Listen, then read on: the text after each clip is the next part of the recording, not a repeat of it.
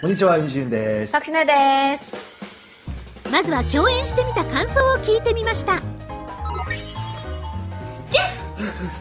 어, 이게 애교가 많아요.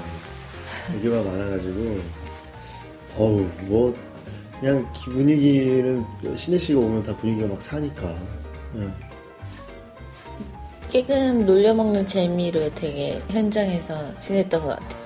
재밌어요. 쿡쿡 찌르면 반응들이 막 오고 간지럼도 되게 많이 타서 심심할 때 참 이렇게 뭔가 이렇게 괴롭 제가 막 괴롭히기도 하고 장난도 많이 쳤는데 그런 거 되게 다 받아주고 오빠답 오빠답고 되게 진지하고 어른스럽고요. 근데 어른스러운데 가끔 되게 허당이야. 그래서 더 매력적인 것 같아요. 隣のイケメン 제이, 밑에 그다사.